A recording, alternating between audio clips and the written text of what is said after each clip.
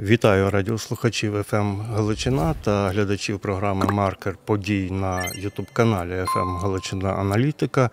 До речі, підписуйтесь на цей наш Ютуб канал, ставте свої вподобайки, а також там можна прокоментувати те, що ви почуєте в нашій програмі. Мене звати Ігор Гулик.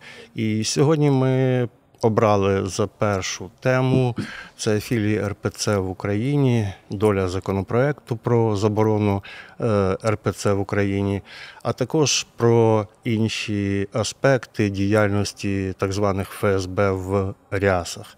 І говоримо на цю тему. Ми сьогодні з е, релігіознавцем. Головним редактором порталу релігійно-інформаційної служби Україні Тарасом Антошевським. Вітаю вас, пане Тарасе. Христос Воскрес! Воістину Воскрес. Отже, на вашу думку, чому, чому у Верховній Раді зволікають законопроєктом про заборону РПЦ в Україні? Е, Ну насправді з одного боку, ніби здається, що зволікають, але з іншого боку, тільки е, кілька днів тому він прийшов в юридичний відділ, тобто він проходить якби всі моменти. Бо ми ж не можемо сказати, що наші депутати, е, ті, які пишуть закони, вони у всьому грамотні, вони все можуть врахувати, тому мають бути експерти, які прорахують певні речі, тобто той самий юридичний відділ чи інші підрозділи робочі Верховної Ради, які має через які він має прийти, і де мають, якби скажімо так. Е, Відкоректувати або ще щось зробити, е, щоб він відповідав, е, ну не суперечив іншим законам і так далі. Я думаю, що за нього будуть голосувати, але я би не робив з нього панацею, бо це не той закон, який, умовно кажучи, це не є вирок КАТ, як- і КАТ має виконати і відтяти, і не стане голови. Ні, вона буде. І цей закон це ще як би скажемо, це буде перша частина, а ще буде потім кілька інших частин, і одним актом ніякий московський патріархат чи інші церкви, які залежні, релігійні організації, які залежні від Москви, не будуть ліквідовані. Як Ну, свого з ін- часу ліквідувавши партію регіонів, ми ж її не ліквідували, люди ж залишилися. Та з іншого боку, ми бачимо таку активність Служби безпеки України, яка час від часу е, там висуває звинувачення окремим клірикам. З іншого боку, ми бачимо, що це все фактично завершується відтак. Ну, Можна сказати нічим. Наприклад, там з того ж таки одіозного лебедя е, недавно рішенням суду було знято електронний браслет, а е, відносно іншого клірика Луки е, бачимо такий доволі е, м'який запобіжний е, засіб. Чи, на вашу думку, Феміда тут українська є напівзрячою, чи, чи це інші причини якісь? Ну, я думаю, якщо б вони знайшли якусь таку доказову базу, яка б була набагато серйозніше, вони б могли щось і представити, і засвітити якусь інформацію. Це з одного боку. З другого боку, е, вони ну це не є, скажімо так, злочинці, які вбивають так напряму, так можливо, їх не треба так аж. Е, Приховувати е, в СІЗО чи ще кудись. А з іншого боку, вони бачимо приклад черкаського митрополита, який один з головних очільників саме руського міра в Україні. Він активно працює. І тут ще найважливіше, е, ці поодинокі, е, знаєте, як я як подивитися старі фільми, як боролися з мафією, десь там так, то накривали одночасно в багатьох місцях багатьох, так, тобто паралізовували структуру.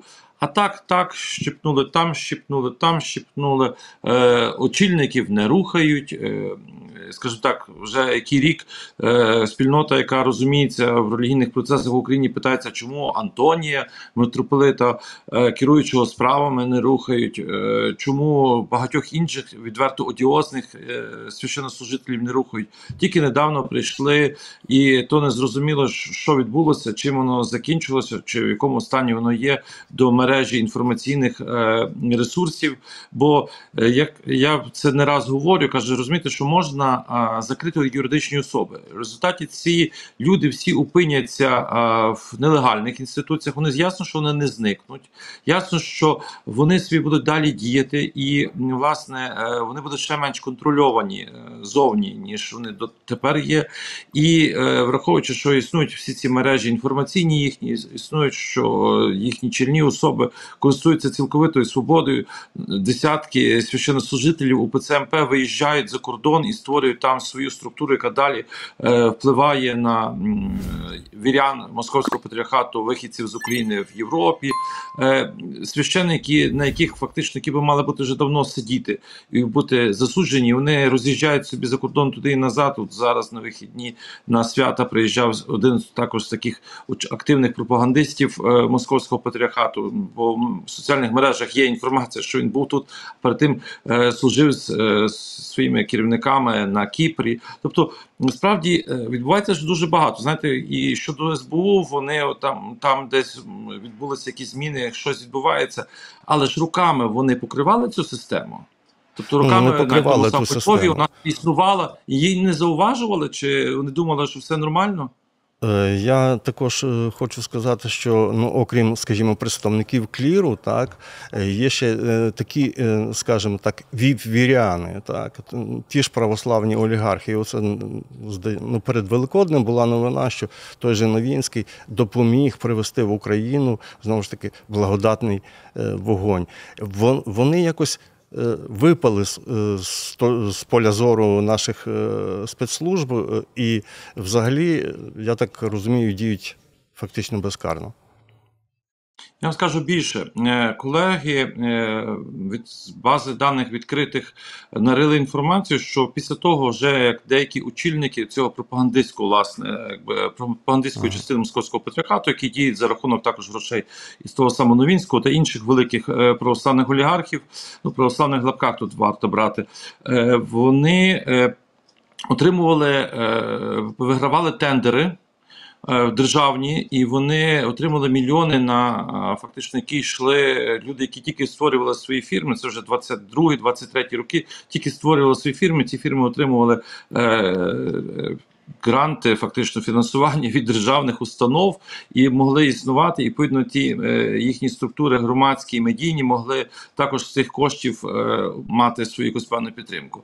І ми маємо визнати, що е, дійсно, поки відвільно працюють собі ці медіа, поки їх вільно можуть читати всі підряд, поки вони можуть зомбувати своїх людей, то немає значення, скільки поодиноких заарештують священнослужителів, скільки їм дадуть таких умовних покарань, знаєте, і е, наскільки це буде виглядати, тому що воно система працює, і ніякий закон її так за один раз так хопа і не закриє. Вона буде далі діяти. Якщо умовно кажучи, знаєте, я знову ж повторююся, що каже, коли закривали партію регіонів, і що тепер очільники чи нерядові члени партії регіонів є далі при владі. В я- як, як, як результат маємо доволі таку якусь цікаву, з одного боку, ну, о, таку стати, статистику невтішну. Лише 685 українських церков офіційно розірвали зв'язки з РПЦ від початку Великої війни з більш ніж 8 тисяч. Які діяли в Україні до на кінець лютого 22 року. А з іншого боку, свіжа е, статистика, оприлюднена е, Київським міжнародним інститутом соціології, говорить про те, що 60% громадян України виступають за заборону РПЦ. Е, Тобто бачимо велетенську машину, ну, 8 тисяч храмів, так? І е, більше половини громадян не хотіли б бачити її в Україні. Я вам скажу е, ще таки, тобто я взагалі ці цифри так ставлюся до них. Ну про перекид громад ми маємо свої дані. е, За нашими даними перейшло суттєво більше. Але скільки з них довели справу до кінця, скільки оформили документи, ну не знати. Е, Можливо, і дані Open Data і інших. Не є такими, скажімо так, досконалими, тому що хтось десь переоформляє документи, хтось е, і не дійшов до переоформлення документів. Ось і тут є ще, ще один такий момент, що е, е, є області, де особливо це прифронтові області, де переходів практично не відбувається. Наприклад, Харківська область. Я спілкувався з одним е, священнослужителем нарядовим, і він каже, що коли е, звільнили Ізюм, на цій території не було жодного священника московського патріархату. Знаємо, що це їхній їхній владика, інші священнослужителі тупо повтікали в Росію. Так і коли е, українські священники хотіли перебрати пустуючі храми. То місцева влада сказала, ні, ні, ні, не можна. Ну я розумію, з одного боку не можна, тому що вони є е, там у власності релігійних громад, чи, наприклад, вони можуть бути у власності держави, але передані в користування релігійним громадам. Але з іншого боку, тобто, чому не можна передавати е, ці храми, чому не можна це питання вирішувати законним шляхом? Якщо особливо ці храми є в користуванні е, релігійних громад, чому е, немає на місцях бажання вирішувати ці справи? Ми так само бачимо випадки, наприклад, в багатьох областях, де священники, скажімо так, е, ну відверто займаються сепаратистською діяльністю. Ні один е, з їхньої діяльності, ні одна ні один з цих священнослужителів не був заслу- засуджений е, своїм керівництвом, починаючи від єпископа. Натомість, якби один тільки захотів перейти до ПЦУ, то зразу це би було засуджено. Чому на місцях е, не йде е, робота? Тобто, якщо ми визнаємо, що ця структура є. Е, е, Займається антидержавною діяльністю, то відповідно має бути по повній програмі робота з нею як е, з інституцією, яка може бути запідозрена в роботі на ворога. Так а з іншого боку, бачите, маємо цю е, заклик і суспільства, що треба ліквідовувати. Е, там є ще більші цифри про недовіру до московського патріархату. Але це з одного боку е, є погляди суспільства, з іншого боку, на них можна дати дуже популістські. е, Давайте будемо забороняти. Ну, заборонити можна, умовно кажучи, довго буде тривати процес. Невідомо чим закінчиться. Але давайте приймемо закон, попіаримося на ньому. І, е, е, скажімо, все, ми зробили, ви тепер далі е, мастіть собі голову. І це насправді проблема є набагато глибша. Є е, блаженніший Святослав, глава Гректовської церкви, часто нагадує ситуацію в 1946 році. Е, Швидко заборонили діяльність Греко-католицької церкви, так але люди залишилися, священники залишилися. Хтось перейшов, але далеко не всі, дуже далеко не всі. Зараз, якщо не працювати з представниками московського патріархату, а умовно взяти заборонити їхні інституції в Україні, е, вони будуть тут працювати як п'ята колона ще більше ніж до того. Якщо не почати не вести діалог на місцях, де коли я бачу, коли я сам підтримую цей діалог, там на мене агресія є, що от що я захищаю московський патріархат. Є, я не захищаю московський патріархат, я захищаю тих людей, які заплуталися з одного боку, так які е, є під впливом дуже потужної пропаганди. А пропаганда в Україні працює, як би скажемо, прекрасно, і в світі працює. І Україна фактично у світі набагато гірше поставлена з е, інформаційному полі, ніж скажімо, ті, наші хлопці захищають Україну на бойовому полі, на фронті. І відповідно, ми може часто можемо програвати навіть щодо того закону, е, коли по світу йде пропаганда і по важних колах поширюється, що от цей закон є проти релігійної свободи, це тобто законопроект ще. І тому е, має бути дуже потужна, е, стратегічно виважена така інформаційна політика, як з боку держави, так і з боку е, місцевих органів, е, щоб працювати з тими вірянами, з тими людьми і працювати також священнослужителями. Бо е, я знаю багатьох священнослужителів, які би напевно вже само самі давно перейшли з московського патріархату до ПЦУ, але так само, як і в 18-19 роках, якщо вони не можуть перевести за собою пасту, вони вважають, що їхня робота ще й не виконана. Тому вони десь повільно, повільно, як- де вдається, працюють зі своєю пастою, намагаються їх переконати, що перехід до ПЦУ це не є злочин, і що е, московський патріархат це є злочинна організація. По соціальних мережах, по телеграм-каналах можна знайти багато таких е, груп, де такі священники, які наразі є е, приналежні до московського патріархату, ну таку відверту проукраїнську позицію займають антимосковську позицію, і вони, якби скажемо, і поширюють цю інформацію, і збирають, і видають з- середини цю інформацію, яку можна використовувати. Я думаю, навіть частина СБУ використовує цю інформацію. Бо е, люди можна заборонити організацію, залишаться люди. Якщо е, е, з людьми не працювати, з ними попрацює ворог. Він набагато успішніше власне в інформаційному просторі працює ніж на бойовому фронті. Е, Ну, е, ви знаєте, е, ясна річ, що з людьми треба працювати, але тим не менше, коли ми бачимо якісь певні реперні такі точки, наприклад, такою точкою є оцей незаконно збудований МАФ у Києві, який буцімто мали закрити сьогодні.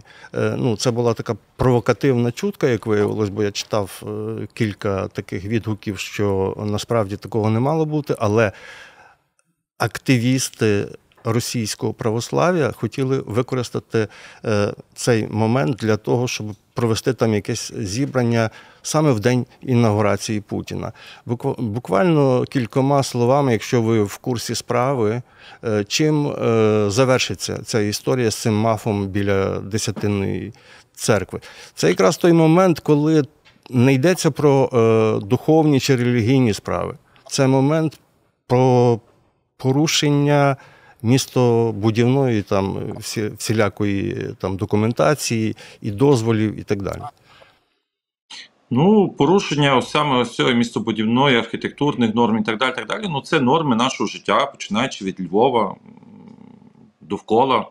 Площі ринок можна побачити, нема будинку, якому не відбулося порушення. Так е, то саме в Києві відбувається. Е, відомо, що лідери партії правлячої партії е, власне і зацікавлені в прийнятті нових закону, е, законів, які власне дозволять е, багато того робити, що в принципі заборонено наразі.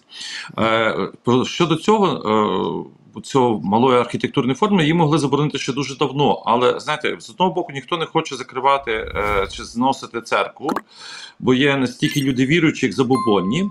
З другого боку, е, пам'ятаємо, що ще до літа 22-го року е, офіс президента і багато інших державних установ, в тому числі СБУ, захищали е, діяльність московського патріархату. Дякую за розмову, пане Тарасе. Нагадаю, це був е, релігієзнавець, головний редактор порталу релігійно-інформаційної служби України Тарас Антошевський.